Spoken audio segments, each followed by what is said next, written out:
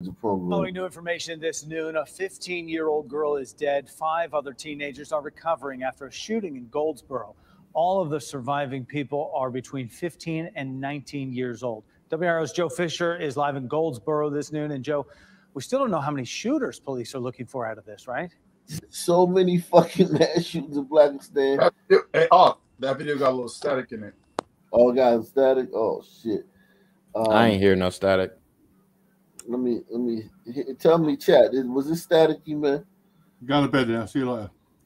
All right, man. Was it was it staticky, guys?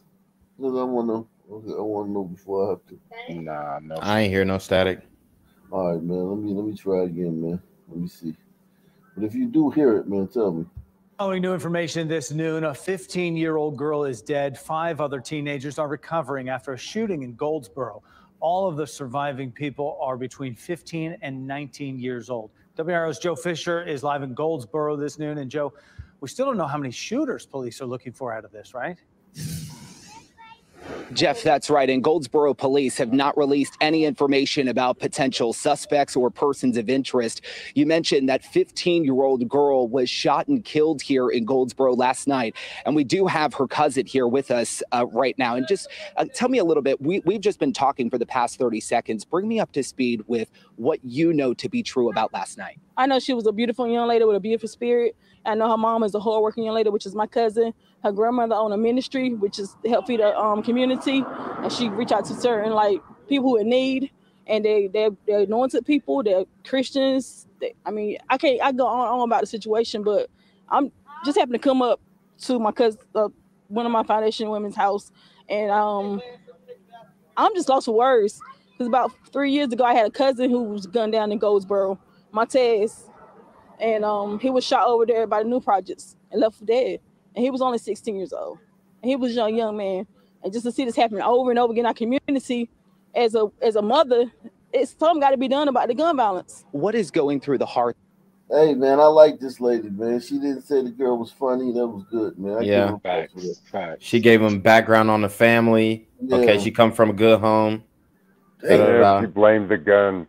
Yeah, she did blame the gun. Yeah, but Well, I mean, but you know, you got that, man. Give her a break, man. I mean, she ain't perfect. I, ain't say Yeah, I mean, that's but, like water's wet. um, yeah, at least she called the shit out, you know. But It's Who'd she something to vote be for, done about the right? gun violence. What is going through the hearts of you and your family members this morning uh, regarding the 15 year old? We are outraged. We're brokenhearted. I mean, to see a mother cry like that. I'm a mother, and see a mother cry like that, I mean, just embrace my soul. We come from a big family, and we're gonna pull together, but we want justice for my little cousin. Whoever done this, I ask you, please, if you got any sense of care for yourself, and just come and turn yourself in. Just turn yourself in. We know from police that there was, you know, a large party. There were dozens of people, you know, in the backyard of a home right here near Lionel Street and near Leslie Street. Um, what was the party? What was the gathering?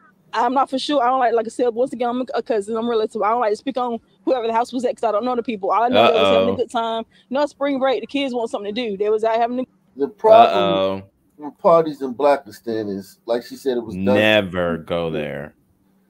If it's dozens of people there, right?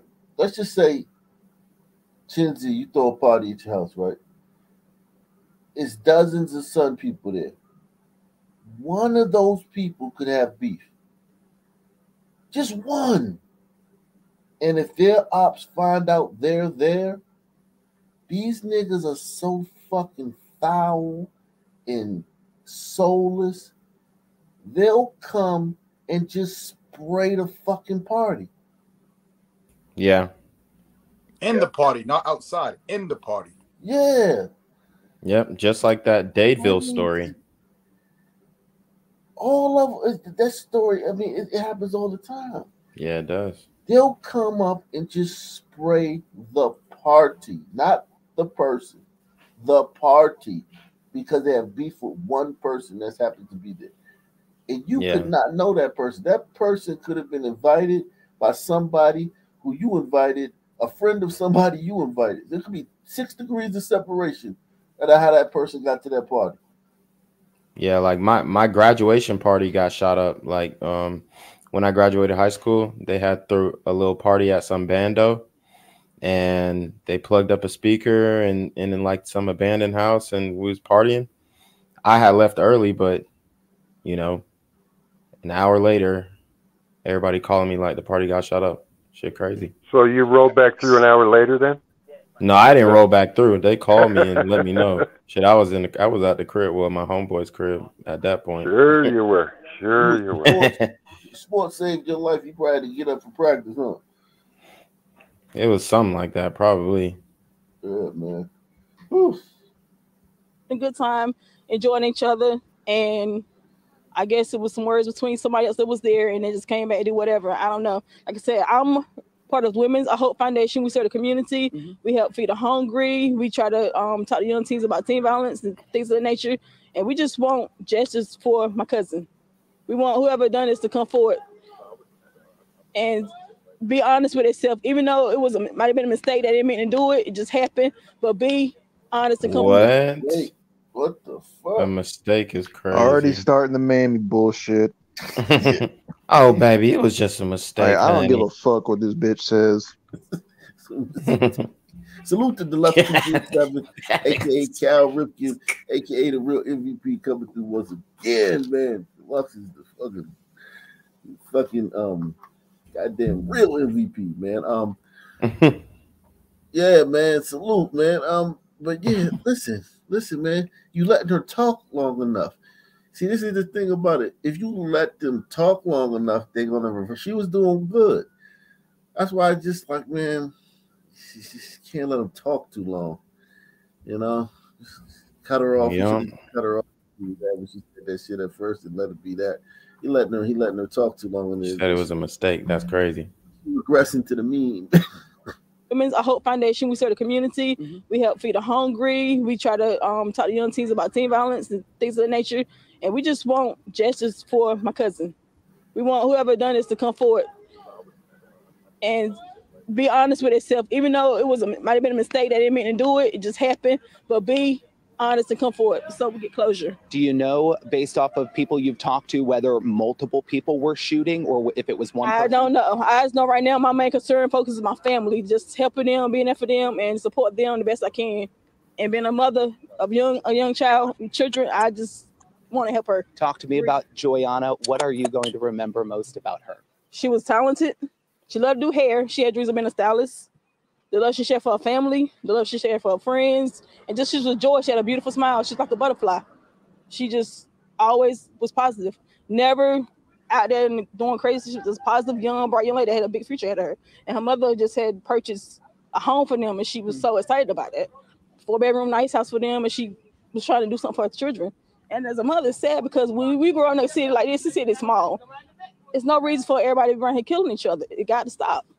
this city's small. No reason for everybody around here to be killing each other. You know your neighborhood shit though, when you just got random sun men wandering around in the background.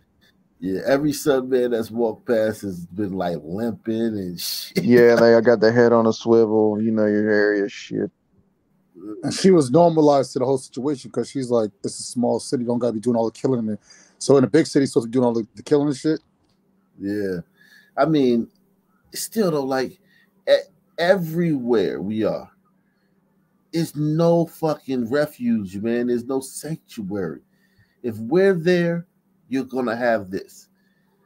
Goldsboro. Like you don't hear Goldsboro. When you think of fucking dangerous cities, you could name a thousand dangerous cities before you got to Goldsboro. And it's up and it's turned up in Goldsboro. Like it's turned all the way. You meet a son man from Goldsboro, man. You done met a you you probably be like, oh, if you like you from like DC or New York or Atlanta, you meet a son man from Goldsboro, you probably looking at him like he a fucking bumpkin or something. That Yeah. son man done seen nothing but murder his whole fucking life. And murder your ass. Yeah. It's about her. She was talented. She loved to do hair. She had dreams of being a stylist.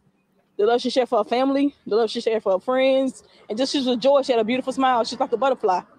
She just always was positive. Never out there and doing crazy. She was just positive, young, bright young lady that had a big future ahead of her. And her mother just had purchased a home for them, and she was mm. so excited about that.